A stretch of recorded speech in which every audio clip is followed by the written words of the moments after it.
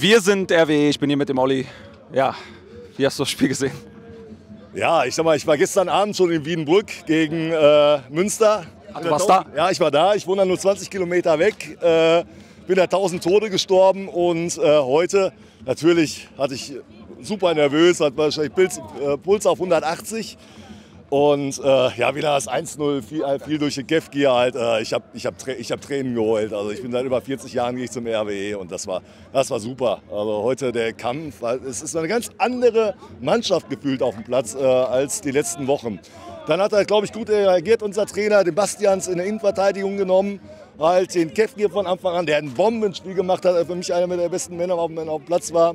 Und äh, was ich jetzt für nächste Woche hoffe, dass sich der Eisfeld nicht äh, stärker verletzt hat oder ernsthafter. Und äh, ja, da müssen wir auch von der ersten Minute brennen und versuchen, früh ein Tor zu machen. Weil ich glaube, dann, äh, für Aalen geht es ja um nichts mehr. Ist ja unser Angstgegner, im Prinzip in Aalen.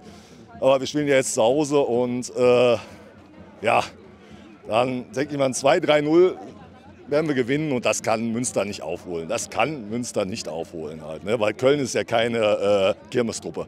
Ne, das haben wir gesehen, als sie bei uns gespielt haben. Ne, das eine technisch richtig starke Truppe ist.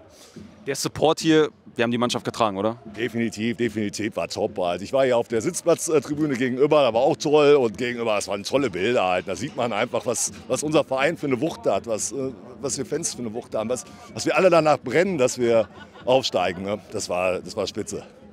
Ich danke dir, Olli. Wir sind RWE!